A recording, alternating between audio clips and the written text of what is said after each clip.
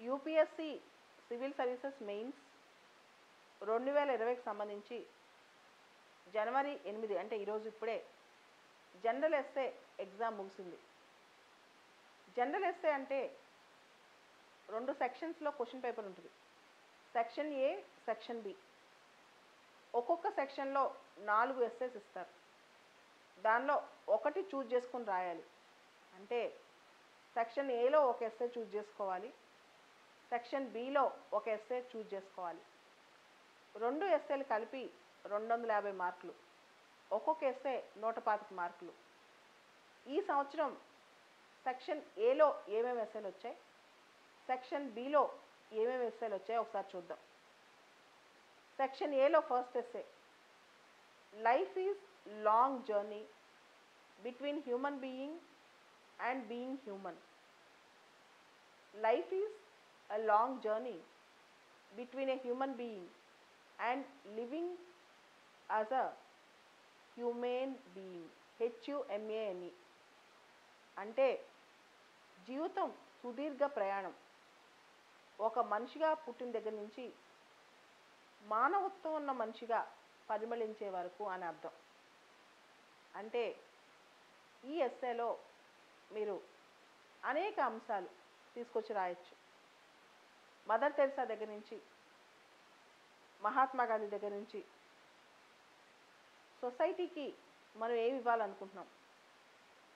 We make a living by what we get we actually live by what we give అనే సూక్తితో ఈ ఎస్ఏని మొదలుపెట్టి అద్భుతంగా సొసైటీలో చిన్న చిన్న అంశాల దగ్గర నుంచి పెద్ద పెద్ద అంశాల వరకు ఈవెన్ సోనీ సూదన్ రతన్ టాటా ఇలా గొప్ప గొప్ప ఎగ్జాంపుల్స్ ఇస్తూ ఈ ఎస్సేలో చాలా అద్భుతంగా రాయొచ్చు. అంటే ఒక మామూలు మనిషి నుంచి మానవత్వం ఉన్న మనిషి వైపు ఏ విధంగా ఒక మనిషి రోల్ మోడల్స్ తీసుకోవాలో ఏ విధంగా ఒక మనిషి ఎదగాలో ఈ ఎస్సేలో రాయాలి. అలా ఉంటే ప్రపంచం ఎంత అందంగా ఉంటుంది ఇది కూడా రాయాలి. దీనిలో చాలా ఎగ్జాంపుల్స్ ఉన్నాయి. ఎగ్జాంపుల్స్ అని తీసుకుంటూ ప్రపంచంలో అనేక examples including Bill Gates foundation Bill and Melinda Gates foundation ఇలాంటి అంశాలు కూడా పెడుతూ. సెకండ్ వస్తే mindful manifesto is the catalyst to a tranquil self mindful manifesto is the catalyst to a tranquil self అంటే మన జీవితంలో కొన్ని ఐడియల్స్ కానీ మనం నడిచే నడవడికి కానీ మనం మనలో ఉన్న శాంతికి దారితీస్తుందని అంటే మనం ఫాలో అయ్యే ఆశయాలు మన జీవితంలో ఉన్న లక్ష్యాలు మనల్ని ఎరిగి మనం ప్రవర్తిస్తే ఆటోమేటిక్గా మన మనసు ప్రశాంతంగా ఉంటుంది అని చెప్పి. ఇది అద్భుతమైన సూక్తి. ఎందుకంటే మీరు మొదటి నుంచి ఇక్కడ అశోక యుద్ధ పేరుని వదిలేసి ధర్మబేరుని ఎలా చాటాడు? శాంతి కోసం బుద్ధ మార్గం ఏంటి? అక్కడి నుంచి అన్నా హజారే మార్గం ఏంటి? చేసేది చెప్పేది వినేది ఒకటే ఉంటే అంతకంటే అద్భుతమైన హ్యాపీనెస్ ఉందా? మహాత్మా గాంధీ గారు అంటారు. Happiness is when what you think what you do and what you see are in perfect harmony అని. మూడో essay ships do not sink because of water around them ships sink because of water that gets into them ships do not sink because of the water around them ships sink because of water that gets into them పెద్ద పెద్ద పడవలు నౌకలు చుట్టూ ఉన్న నీళ్ళ వల్ల మునిగిపోవు. ఆ నీరు వాటిలోకి ఎప్పుడైతే చొరబాటు చేస్తాయో ఎప్పుడైతే ఆ నీరు వాటిపైకి వస్తాయో అప్పుడు పడవలు మునిగిపోతాయని. అంటే మన చుట్టూ అంశాలు కానీ మన చుట్టూ ఉన్న కష్టాలు కడగళ్ళు ఇవన్నీ మనల్ని ముంచేవు ఎప్పుడైతే అవి మనలోకి దూరి మనలో ఆత్మవిశ్వాసం తీసేస్తాయో అప్పుడే అవి అప్పుడు మనం మునిగిపోతాం. ఇది ఒక అర్థం తీసుకోవచ్చు. దాంతోపాటు మనలో ఉన్న వీక్నెస్ మనలో ఉన్న డిప్రెషన్ కంట్రీ కంట్రీ పరంగా కూడా కంట్రీ తను తను డిఫెండ్ చేసుకోలేనప్పుడు ఒక ఇన్స్టిట్యూషన్ తను తాను నిలబెట్టుకోలేనప్పుడు ఒక వ్యక్తి తనకు తానుగా పైకి రాలేనప్పుడు తన చుట్టూ ఉన్న వాటిపైన ఆధారపడినప్పుడు ఆటోమేటిక్గా మనిషి మునిగిపోతాడు అని. సో ఇది ఇది కూడా మంచి వేస్తే తర్వాత ఫోర్త్ ఎస్సే పార్టీలో simplicity is the ultimate sophistication simplicity is the ultimate sophistication అంటే ఎంత సాదాసీదాగా ఎంత నిర్మలంగా ఎంత నార్మల్గా ఉంటే అదే అతి పెద్ద గొప్పతనం అని చెప్పి. Simplicity is the ultimate sophistication. ఇక్కడ మీకు బోల్డ్ అని ఉదాహరణలు ఉన్నాయి. చాలామంది గొప్ప జీవితాలు ఇంక్లూడింగ్ అబ్దుల్ కలాం గారు ఇంక్లూడింగ్ నరేంద్ర మోడీ గారు. Simplicity is the ultimate sophistication ఈ కాన్సెప్ట్ మీద. తర్వాత ఇది సెక్షన్ ఏ సెక్షన్ ఏలో four essays section B first question. Essay question essay topic culture is what we are civilization is what we have culture is what we are civilization is what we have మన సంస్కృతి మనం ఏంటో చెప్తుంది. మన నాగరికత మనం ఎక్కడున్నామో తెలియజేస్తుంది. మన మనం ఎక్- ఎలాంటి స్థితిలో ఉన్నామో.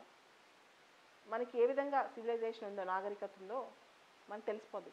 Culture is what we have మనం ఇప్పుడు ఎలా ఉన్నామో మన సంస్కృతి. Culture is what we have what we are culture is what we are మనం ఏంటో తెలియజేస్తుంది. సివిలైజేషన్ మన ఎంత ముందుకెళ్ళామో మనం తెలియజేస్తుంది. Culture is what we are civilization is what we have తర్వాత there can be no social justice without economic prosperity but economic prosperity without social justice is meaningless ఆర్థికపరమైన అభివృద్ధి లేకుండా సామాజిక న్యాయం అనేది జరగదు. కానీ ఆర్థికపరమైన అభివృద్ధి ఉండి సామాజిక న్యాయం లేకపోతే దానిలో అర్థం లేదు అని చెప్పి. అంటే social justice economic justice should go together సామాజిక అభివృద్ధి ఆర్థిక అభివృద్ధి చేయిలో చేయి వేసుకుని నడవాలి. అంటే సమ్మిళిత అభివృద్ధి అంటే ఆర్థిక అభివృద్ధిలో అందరినీ మిళితం చేసుకుని పైకి వెళ్ళాలి అనేది దీని మీనింగ్ అనమాట ఎస్ఏ టాపిక్ పేరు ఇంకోసారి చదువుతాను చూడండి. Heading there can be no social justice without economic prosperity but economic prosperity without social justice is meaningless అది దాని మీనింగ్ తర్వాత next essay patriarchy is the least noticed yet the most significant structure of social inequality. Patriarchy is the least noticed at the most significant structure of social inequality. అంటే పురుషాధిక్య ప్రపంచం అనేది సమాజంలో సరిగ్గా మనకి విజిబుల్గా లేనప్పటికీ సామాజిక అసమానతలకు ఇదే పెద్ద కారణం అని. సమాజంలో ఏ రంగంలో తీసుకున్నా మనం ఉద్యోగాలు తీసుకున్నా విద్యలో తీసుకున్నా వ్యాపారంలో తీసుకున్నా రాజకీయాలు చూసి తీసుకున్నా పురుషాధిక్యత అనేది బయటికి చెప్పనప్పటికీ ప్రతి చోట పురుషుల డామినేషన్ ఉంది.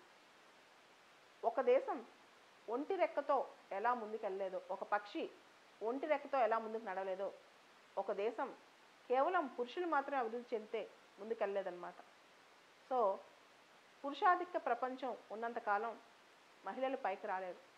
అది భారతదేశంలోనే కాదు. మీరు అమెరికా చూసుకుంటే ఇప్పుడు అమెరికాలో ఒక్క ప్రెసిడెంట్ కూడా ఫీమేల్ ఫీమేల్కి అవకాశం రాలేదు. ఒక్కసారి కూడా ప్రెసిడెంట్ అవ్వడానికి భారతదేశంలో కూడా అన్ని రంగాల్లో మహిళలను అణచివేస్తున్నారు సో సామాజిక సమానత్వం రావాలి అంటే ప్యాట్రియారికల్ మైండ్ సెట్స్ పోవాలి. మనకు తెలియకుండా మన రక్తంలో అంతర్లీనంగా ఇంకా ప్రపంచంలో మన దేశంలో పురుషాధిక్యత ఉందన్నమాట. దీనికి సంబంధించిన అనేక అంశాలు డేటా గురించి చాలా చిన్న చిన్న ఎగ్జాంపుల్స్ అనమాట చిన్న చిన్న ఎగ్జాంపుల్స్ ఒక అమ్మాయిని ఒక బ్యూటీతోనే చూస్తారు. అదే ఒక అబ్బాయిని తను చేసిన అచీవ్మెంట్తో చూస్తారనమాట అలాంటి చిన్న ఎగ్జాంపుల్ ప్యాట్రియార్కికల్ మైండ్ సెట్ అంటే అంటే ఒక అమ్మాయి is equal to biological being అనమాట అలా కాకుండా ఎప్పుడైతే అమ్మాయిని కూడా ఒక వ్యక్తిగా చూస్తారో అప్పుడు అబ్బాయికి అమ్మాయికి తేడా లేకుండా ఉంటుంది. There is a difference between gender and sex gender is a sociological term sex is a biological term ఇట్లా ప్రతి అంశాన్ని డిస్కస్ చేస్తూ మంచి మంచి ఎగ్జాంపుల్స్ రాస్తూ చేస్తే కనుక అద్భుతమైన ఎస్ఏ రాయొచ్చు దీని మీద. Silent factor in international relations ఇంతకుముందు అంతర్జాతీయ సంబంధాలు విలువల మీద నడిచాయి. తర్వాత వాస్తవం మీద నడుస్తున్నాయి. ఇప్పుడు అన్నిటికన్నా ముఖ్యంగా సాంకేతిక పరిజ్ఞానం మీద నడుస్తున్నాయి. భవిష్యత్తులో ఏ దేశంలో టెక్నాలజీ ఉంటే ఆ దేశమే పవర్ఫుల్ డబ్బులు మిలిటరీ ఇవన్నీ కాదు. Artificial intelligence five G technology internet of things virtual reality. ఏ రంగాలు అయితే ముందుంటాయో ఏ ఏ దేశాలు ఆ దేశాలు ఒక కమాండింగ్ పొజిషన్లో ఉంటాయి. మీరు చూస్తే ఫైవ్ జీ టెక్నాలజీకి సంబంధించి చైనా ఎంత లీడ్లో ఉంది. సో భవిష్యత్తులో technology is going to be the silent factor already start అయిపోయింది. అంటే సాంకేతిక సాంకేతిక పరిజ్ఞానం అనేది ఒక నిశ్శబ్ద పరిణామం అన్నమాట. అంతర్జాతీయ సంబంధాల్లో అది చాలా కీలక పాత్ర పోషించబోతోందని చెప్పి. దీనికి సంబంధించి కూడా ఎస్సే. ఈ ఎనిమిది టాపిక్స్ చూస్తే ఏ టాపిక్ సెలెక్ట్ చేసుకున్నా పార్ట్ ఏలోంచి ఒక టాపిక్ పార్ట్ బిలోంచి ఒక టాపిక్. అద్భుతమైన ఎస్సే పండించవచ్చు అలానే essay full paper CSBIS academy communist పో కమ్యూనిటీ పోస్ట్లో నేను ఆల్రెడీ పోస్ట్ చేశాను. ఒకసారి చూసుకోండి. మీరు ఎస్ఏలు రాయడానికి ప్రయత్నించండి. రకరకాల పర్స్పెక్టివ్స్ రావచ్చు. ఎందుకంటే ఇవి చాలా వరకు ఓపెన్ ఎండెడ్ ఎస్ఎస్ మంచిగా ఎస్ఏ రైటింగ్ ఇప్పటి నుంచే ఈ ఎయిట్ ఎస్ఎస్ ప్రాక్టీస్ చేస్తే నెక్స్ట్ ఇయర్ ఎస్ఏకి రెడీ అయిపోవచ్చు.